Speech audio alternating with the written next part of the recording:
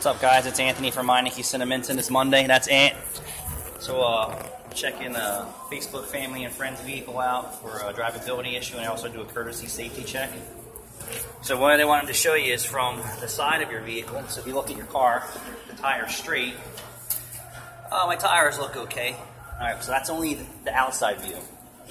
What you want to do is turn the steering wheel out, right and left, and you want to inspect the whole tire. So I'm to rub the dirt off on here. So you see these bars?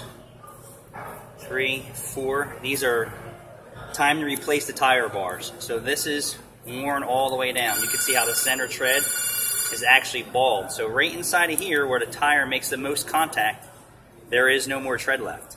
Here it has some tread and here it has some tread. So that's how you really need to check your tires properly is turn the wheels in and out and take a good look outside, inside, center.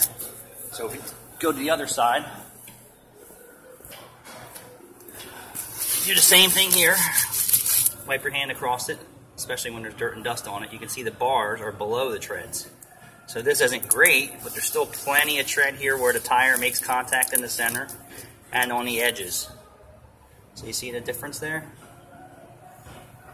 All right, and then the back tires would definitely be a different way of inspecting it.